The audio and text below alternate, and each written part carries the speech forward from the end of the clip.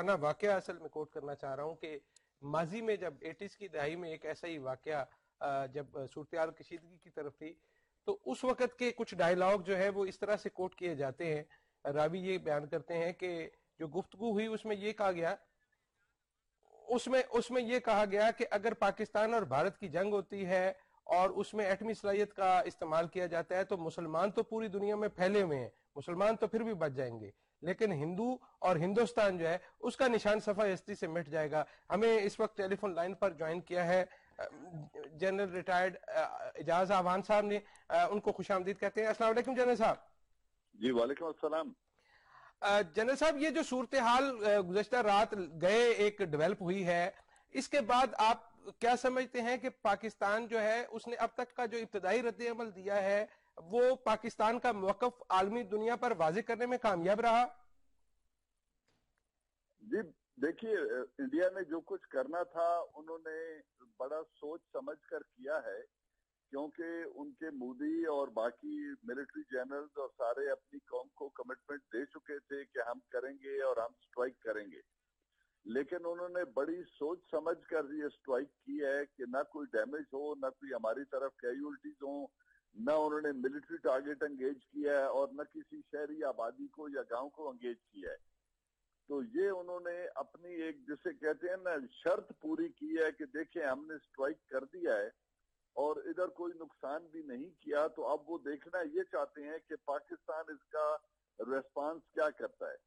اب دیکھنا ملیٹریلی یہ ہے کہ انہوں نے ہمارے لائن آف کنٹرول کی وائلیشن کی، اس میں کوئی شرط نہیں ہے۔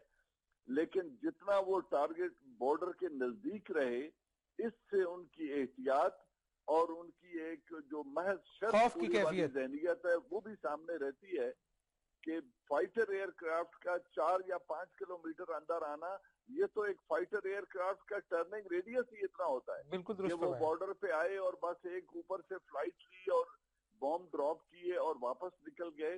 تو جتنی ان کے پاس انفارمیشن ہے انہوں نے بڑا سوچ سمجھ کر ایک جسے کہتے ہیں نا، خالی جگہ پہ اپنا پیلوڈ ڈراپ کیا اور اپنے بام گرائے تاکہ ادھر سے ایک زوردار ریٹیلیشن پاکستان کی طرف سے نہ آئے۔ اب دیکھنا یہ ہے کہ پاکستان کی جو آرم فورسز ہیں اور سول کمانڈ ہے، وہ اس کو کیسے ریڈ کرتے ہیں؟ اب دو تین طریقے ہیں اس کا جواب دینے کے۔ ایک یہ ہے کہ یہ جو کچھ انہوں نے اسٹرائک کیا ہے اس کو ایکسپوز کریں۔ اور جو united nation military observer group ہے پاکستان میں ان کو ساتھ لے جا کے وہ جگہ دکھائی جائے۔ ان کو جا کر ایک تو ہے کہ جگہ دکھائی جائے اور انڈیا کو بھی ایکسپوز کیا جائے کہ یہ بونڈا کام کرنا تھا جس کے لیے آپ اتنے پندرہ دنوں سے ڈنٹ بیٹھ کے نکال رہے تھے اور مالش کر رہے تھے۔ یہی کام کرنا تھا یہی ایئر سٹرائک تھی۔ اس سے بڑی ضرورت انہوں نے نہیں کی ہے اور ایک طریقہ یہ ہے اگر جذباتی پن کرنا ہے تو تیاری تو پہلے ہی مکمل ہے کہ جائیں اور جا کر ایک اچھی سی سٹرائک کر کے واپس آ جائیں لیکن اس سے چیزیں ایسکلیٹ ہوں گی اور بات پھر بڑھتی چلی حالات زیادہ خرابی کی طرف بڑھیں گے۔ جنرل صاحب مجھے قطع کلامی کی معافی لیکن مجھے آپ سے یہ جاننا ہے کہ یہ جو سرجیکل سٹرائک ٹائپ کا ایک ڈرامہ انہوں نے کچھ عرصہ پہلے بھی کیا تھا اس وقت بھی انہوں نے اپنی آڈینس کو تو کنونس کر لیا، لیکن پاکستان نے اس وقت بھی یہی کہا کہ یہ ایک ڈرامہ ہے، اور اس وقت پھر ایک ڈرامہ انہوں نے سٹیج کیا ہے۔ تو اس صورتحال کو دنیا کے سامنے آشکار کرنے کے لیے سفارتی محاذ پر کیا کرنے کی ضرورت ہے؟ اتنا ٹارگٹ تو وہ ان کی آرٹلری سے بھی انگیج کر سکتے تھے۔ اتنے تو بوم وہ اپنے، اگر اپنے ایریا میں بوم ریلیز کریں تو جو جہاز کی رفتار ہوتی ہے وہ بوم کو اتنا دور چار پانچ کلومیٹر تو وہ بھی لے جاتی ہے کیونکہ جہاز بڑا تیزی سے سفر کر رہا ہوتا ہے۔ تو یہ کوئی ایسی سٹرائک بھی نہیں ہے، لیکن یس ایک ہے کہ انہوں نے اپنا جو سو کالڈ سٹرائک کا کور لیا ہوا تھا، وہ کہتے ہیں جی ہم نے تو کر دیا اب پاکستان بولے۔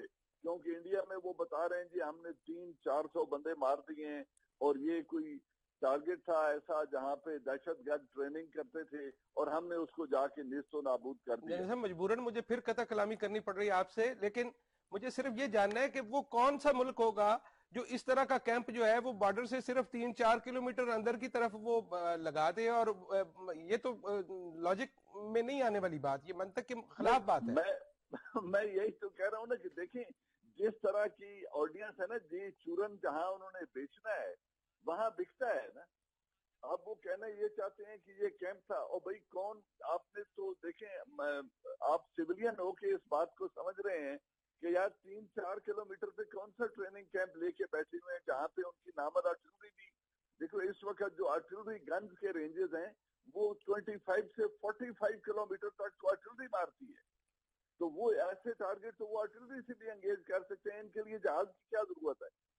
میں یہ کہہ رہا ہوں اسی لیے کہ انہوں نے ایک شرط پوری کرنی تھی دیکھو جی ہم نے کر دیا اسٹرائک اب اگر پاکستان کچھ نہیں کرے گا تو ہم بھی کچھ نہیں کریں گے۔